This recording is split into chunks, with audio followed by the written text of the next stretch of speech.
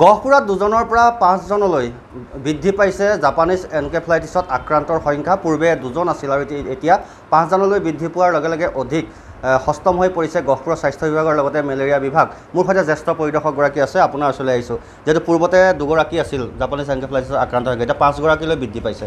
গতিকে আপোনালোকে বিশেষ পদক্ষেপ কি গ্ৰহণ কৰিছে? ৰাইজৰ মাজত কেনেকুৱা ধৰণৰ সজাগতা সৃষ্টি আমি ৰাইজক অনুৰোধ জনাম তেওঁলোকে যাতে ৰাতি শুওঁতে যাতে আঁঠুৱা ব্যৱহাৰ কৰে আৰু ঘৰৰ সন্ধিয়া সময়ত যাতে জাগ জাগৰ জাগ দিয়াৰ ব্যৱস্থা কৰে যাতে মহৰ পৰা মহৰ কামোৰ কামুৰিব নোৱাৰে তাৰ ব্যৱস্থা তেওঁলোকে নিজেই ল'ব লাগিব। কাৰণ আমিতো তেওঁলোকক মহে কামোৰাটোতো কামুৰিবই। গতিকে যাতে মহে কামুৰিব নোৱাৰে তাৰ প্ৰতিৰোধবিলাক তেওঁলোকে ল'ব লাগিব। কেইগৰাকী মুঠ? এতিয়ালৈকে? মুঠ এতিয়ালৈকে পাঁচগৰাকী হৈছে। আমি তাৰে দুগৰাকী আমি শিশু যেতিয়া আমি গৈছোঁ আমি তেওঁলোককে আমি পঠাইছিলোঁ। আমাৰ দ্বাৰাই আমি পঠাইছিলোঁ যে এইটো আমি সন্দেহ কৰিছিলোঁ যে এইটো জাৰি হ'ব পাৰে। সন্দেহ কৰি পঠাইছিলোঁ। আজি এগৰাকী আমাৰ পজিটিভ আহিছে। গতিকে আমি যি সেইখিনিৰ তলেদি আমাৰ যিখিনি এক্টিভিটিছ আমাৰ কৰিবলগীয়া কামখিনি আমি প্ৰায় শেষ কৰিছোঁ। মুঠ পাঁচজন হৈছে মুঠ পাঁচজন হৈছে। এতিয়া এইকেইটা দিনত কি হৈছে আপোনাৰ দিনৰ ভাগতে হওক সন্ধিয়াৰ ভাগতে হওক নিশাৰ ভাগতে হওক মহৰ প্ৰকোপ কিন্তু বৃদ্ধি পাইছে। আপুনি যদি ঘৰত থাকে তেতিয়া হয়তো বহুতে জানে কোনকণি মহৰ পৰা ধৰি বিবিধ প্ৰকাৰৰ মহে কিন্তু এইকেইদিন আক্ৰমণ বেছি চলিছে মহৰ। গতিকে সকলোবিলাক কেনেদৰে আপোনাৰ সেইকাৰণে আমি ৰাইজক অনুৰোধ জনাম অনুৰোধ কৰিছোঁ যে তেওঁলোকে যাতে সন্ধিয়া জাগ দিয়ক মহৰ বংশবৃদ্ধিটো ৰোধ কৰক।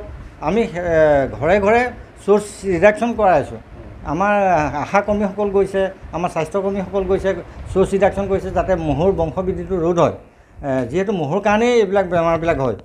গতিকে এই মহৰ পৰা মহৰ সৃষ্টিটো যাতে কম হয় তাৰ কাৰণে আমি চ'ৰ্চ ৰিডাকশ্যন আঁঠুৱা ঔষধীকৰণ ফগিং এই আটাইকেইটা কামেই আমি কৰি আছোঁ। আক্ৰান্ত কেইজন বৰ্তমান আই চি ইউত আছে নেকি? আক্ৰান্ত দুগৰাকী এতিয়া আই চি ইউত আছে। হয়। আপোনাৰ আৰু তিনিগৰাকী সুস্থ হৈ আছে নেকি? তিনিগৰাকী সুস্থ বৰ্তমান। হয়। আপোনাৰ ওচৰলৈ আহিছোঁ যিহেতু এই জাপানীজ এনকেফ্লাইটিছ ৰোগবিধ কেনেদৰে মানুহৰ দেহলৈ বিয়পে বা কি মহে কামুৰিলে এই এই ৰোগবিধ হয়?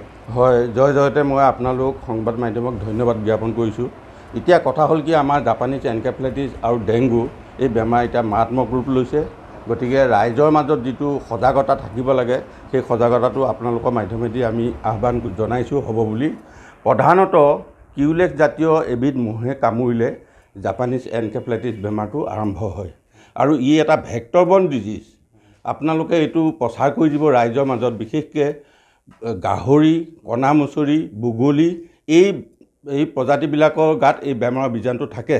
যেতিয়া এনোফিলিছ নামৰ কিউলেক্স কিউলেক্স চৰি কিউলেক্স মহে যেতিয়া তেওঁলোকৰ গাত আক্ৰমণ কৰিব তেতিয়া সেই বেমাৰৰ বীজাণুটো তেওঁলোকৰ গালৈ আহে। আৰু আহি পেলাই সেই মহে যেতিয়া মানুহক আক্ৰমণ কৰিব। কথা মানে কি আপোনালোকে সজাগ কৰিলেও নহ'ব ৰাইজ নিজেও কিছু সজাগ হ'ব। হয় ৰাইজৰ মাজত এইটো সজাগতা থাকিব লাগিব। প্ৰধানত আমি মহৰ কামোৰৰ পৰা হাত সাৰি থাকিলে এই বেমাৰৰ পৰা মুক্তি পাব। আৰু এনেদৰে এতিয়া দুজনৰ পৰা পাঁচজনলৈ বৃদ্ধি পাইছে আৰু অধিক সজাগ হৈ পৰিছে গহপুৰৰ মেলেৰিয়া বিভাগ।